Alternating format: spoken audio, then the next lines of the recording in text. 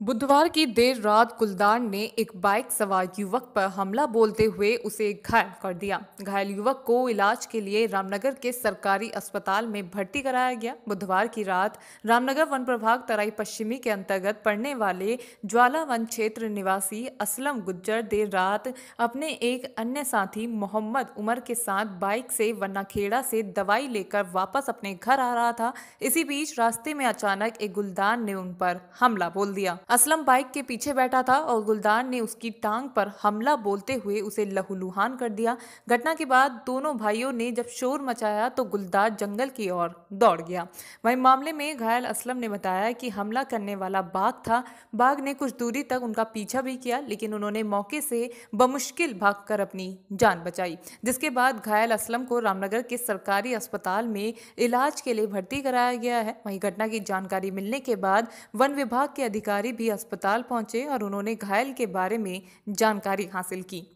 हम गए थे पन्ना गेड़ा दवाई लेने तो रास्ते में हमें बाघ ने झपटा मारा और साथ में भैया थे हमारे तो मेरी टांग में मारा झपटा।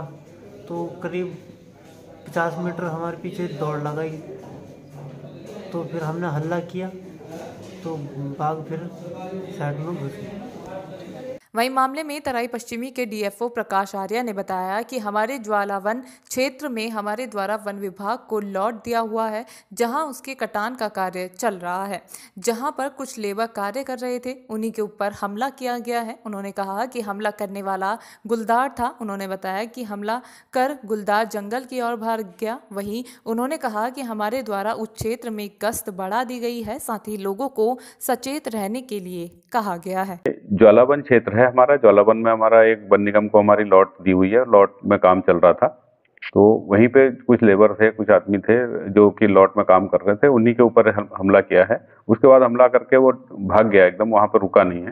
तो देखते हैं, बाकी उन लोगों को अलर्ट कर दिया गया कि भाई गुलदार के एकदम सामने न जाएँ और अगर कहीं कोई दिखता तो इस तरह से ग्रुप में रहें। ऐसा ना हो कि दोबारा कोई घटना हो। वो तो आमने सामना, अचानक आमना सामना हो गया। इसकी वजह से ऐसा लगा कि उसने अपने आत्मरक्षा में अटैक किया। उसमें कोई ऐसा इस तरीके का नहीं था मैटर कि उसको मारना चाहता था वो।